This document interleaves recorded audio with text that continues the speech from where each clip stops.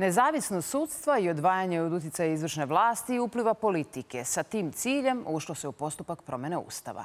Nacrt izmena izradila je radna grupa nadležnog Skupštinskog odbora, ali i Centar za pravosudne istraživanja. U studiju je Violeta Beširović, redovna profesorka na Pravnom fakultetu Univerziteta Union i članica CEPRIS-a. Dobroveče, hvala vam e, na odvojenom vremenu.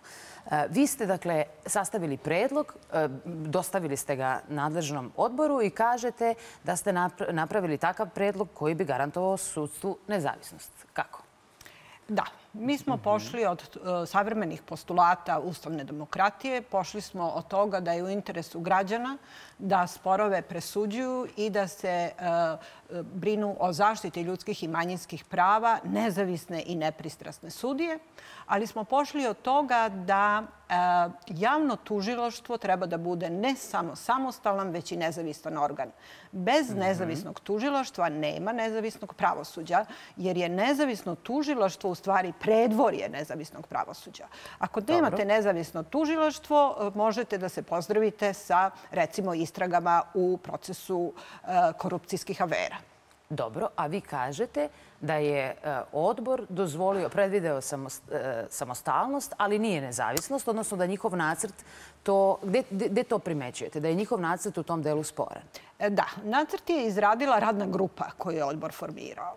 I taj nacrt, moram da kažem, u nekim segmentima je unapređen u odnosu na ono što smo mi imali prilike da vidimo od 2018. pa nadalje, kada je to bio jedan nacrt koji je uradio činovnički jedan predlog mm -hmm. amandmana Ministarstvo pravde.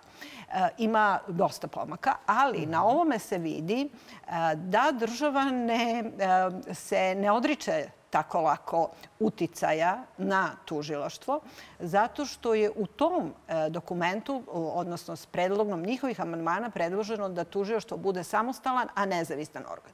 To se vidi recimo u, u izboru, u sastavu tela koje treba da bira e, tužilaštvo. To je Visoki savet tužilaštva, tako predlaže da će da se zove i to, to je adekvatan naziv. Da u tom telu ulazi i nadležan e, ministar e, za pravosuđe. To se vidi po tome što su e, promenili naziv, e, nije više republički javni tužilac, nego je vrhovni javni tužilac i to je nešto što je adekvatno, ali je ostalo rešenje da vrhovnog javnog tužilaca bira Narodna skupština. To je ono od čega smo mi pošli da tako ne treba. Pa smo u našem predlogu e, to izostavili. E, u našem predlogu u sastavu Visokog saveta tužilaštva nema ministra pravosuđa, niti vrhovnog javnog tužioca bira Narodna skupština, već Vrhovni savet tužilaca. Prema tome imali smo u vidu kako bi trebalo da funkcioniše u ajde da kažemo u idealnim uslovima, mada to nisu idealni uslovi. Znate, to je već nezavisnost tužilaštva, jedan trend koji se primećuje u presudama Suda pravde Evropske unije, koji je uh, u posljednjih godinu dana utvrdio da recimo tužioci u Holandiji nisu nezavisni, ani mhm. tužioci u uh, uh, Nemačkoj. Zato što su previše vezani i previše primaju uputstva od Ministarstva pravde. Prema tome, taj trend će postati vrlo brzo standard, a da podsjetim, Ustav se ne piše svaki dan. Znači, mi treba da sad unesemo ona rešenja koja će da žive i koja će da rade. Dobro, ali evo, malo pre ste kazali, ima tu dobrih rešenja, ima nekih e, pomaka. Jedno od tih pomaka jeste da sudije više neće birati e, poslanici u, u Skupštini. Je. To je jedno. E, drugo, je, čini mi se, neće više imati tog probnog rada, je li tako? Nema, nema taj probni period, to je, to je tačno. Ali vi kažete, ali su ostavljeni drugi mehanizmi da se utiče na sudije. Kako? Jeste. Gde se to vidi? E, e, pokazalo se da u ovim zemljama mlade demokratije, a imamo primer recimo Hrvatske najsvežiji, se vrlo teško dolazi do sastava tih nezavisnih organa koji treba da biraju e, sudije i tužioce. I onda se sada traga za jednim mehanizmom koji bi omogućio da ukoliko Skupština ne izabere pet istaknutih pravnika, sada je njihov predlog da u to telo Vrhovni savjet sudstva uđe pet istaknutih pravnika, ako i Skupština ne izabere, da ih bira jedna komisija u sastavu predsednik Narodne skupštine, predsednik Ustavnog suda, vrhovni javni tužilac, predsednik sada se zove Vrhovnog suda prema njihovom rešenju, a i prema našem, to je adekvatnije, i zaštitnik građana. Šta to znači? Zaštitnika građana bira Skupština. Predsednika Skupštine bira Skupština, jel? I imamo uh, uh, još uh, jednog vrhovnog, predsednika Vrhovnog suda bira Skupština. Znači, to... Opet se ostavlja taj da, mehanizam da, uticaja i Izvinjavam se, ne predsednika Vrhovnog suda, Vrhovnog javnog tužioca. Znači, od pet, tri člana komisije direktno bira Skupština. Znači, to je kanal za politički uticaj.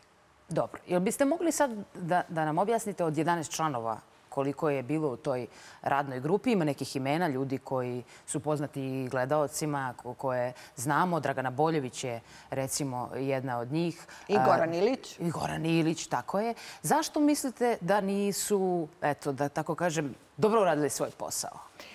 E, pa, e, svačiji posao podložen je kritikama. Znate, Ima u nekim delovima su dobro uradili, ali u većem delu nisu. Problem je, ako govorimo o e, promenama Ustava, znači ne govorimo o promeni statuta plivačkog kluba. E, govorimo o promenama Ustava, znači taj posao treba da rade oni koji to najbolje znaju. A to su profesori ustavnog prava, to su pošto menjamo Ustav samo u delu pravosuđa, to su i sudije, to su i tužioci, to su i advokati. U ovoj zvaničnoj radnoj grupi, da je tako nazovem, bio je samo jedan profesor ustavnog prava koji je i nosilac mnogih titula, redovni profesor na Pravnom fakultetu naš Univerziteta u Beogradu, naš predstavnik u Venecijanskoj komisiji, mm -hmm. sudija Ustavnog mm -hmm. suda. Znači, uh, izvinjavam se ako sam neku titulu ovaj, promašila i, i zaboravila da pomenem, ali samo jedan E, i bili su, kao što smo rekli, i predstavnici sudije i drže. Ostalo su bili, da ih tako nazovem, državni činovnici za koje pretpostavljam da izvrsno rade svoj posao. Mhm. Ali njihov posao nije da menjaju ustav. Oni e, nisu obrazovani i nemaju dovoljan stepen znanja da menjaju ustav. Dobro, su... da vas vrati sad da. sekundu na, na, na vaš predlog. Vi između ostalog tu planirate, kažete ova, predviđate dakle, da se sudske presude donose u ime države Srbije, a ne kao do sada u ime naroda. I kažete to je jedna od, od važnih a, promena. Možete li da objasnite šta je ključna razlika? E, pa mi smo hteli da e, i tako smo, i to je vrlo važno, naš predlog i njihov se razlikuje u jednom vrlo bitnom osnovu, a to je kod načela podele vlasti. Mm.